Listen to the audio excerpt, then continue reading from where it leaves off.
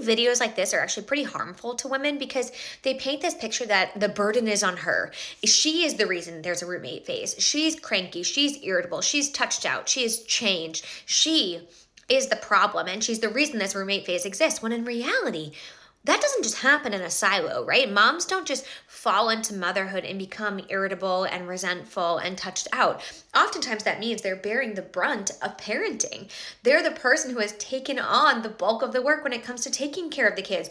Are they the only one waking up in the middle of the night? Do they have a village of support? Do they have childcare they can access? Do they have an hour a week to themselves just to be a human being? Are they getting space? To not just be your roommate, but to be a person. Here's the thing it is super easy to fall into the roommate phase of parenting because there's so much going on logistically, especially when you have small kids.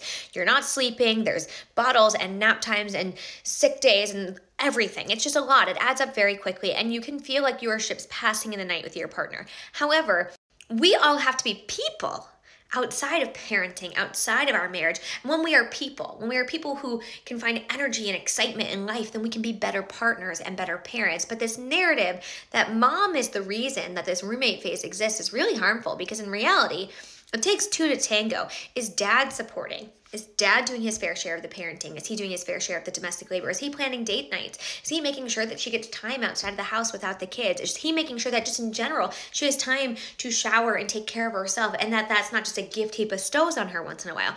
Is he prioritizing her?